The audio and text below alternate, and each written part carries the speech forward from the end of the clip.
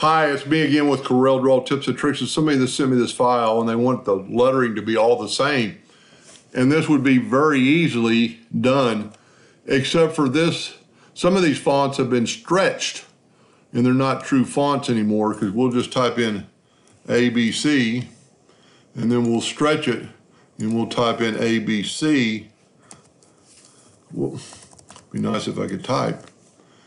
And then we'll make this font 25 points, but we'll make this point, this one 25 points, and they're not gonna be the same because they've been stretched a little bit. They might be pretty close. Well, they actually are, but he's done something in these fonts. So what we can do, if the fonts were all the same, and he just wanted them the same, you would, I would pick the, the biggest lineage, which would be this one that fits and make it, it was like 24.99, so I made it 25. And then you go to edit, select all text, and you can make all text 25.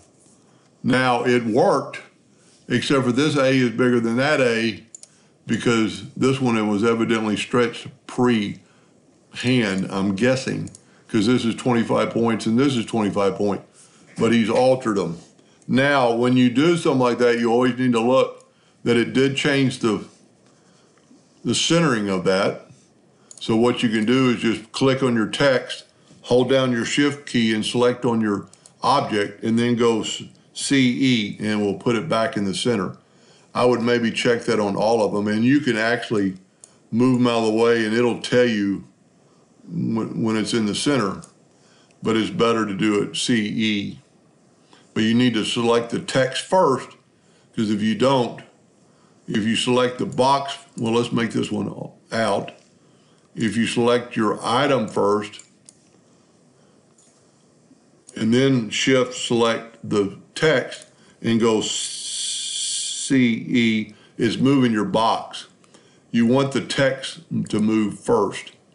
So you want to select it second.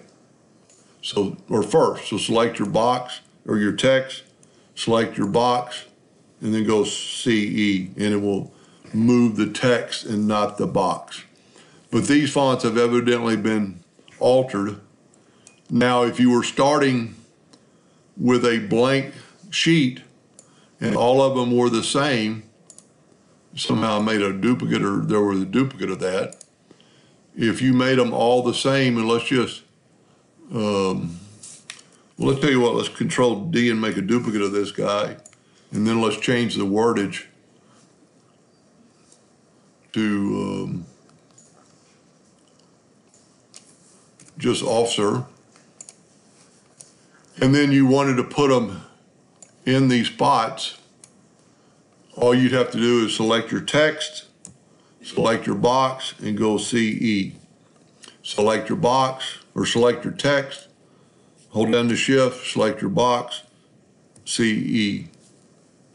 That's very easily done, and then all your names are the same. So in your case, it might be better to rewrite them or get the list you have and import it in and go from there to make them all the same. Anyway, I hope that's what you were asking, and thank you for watching.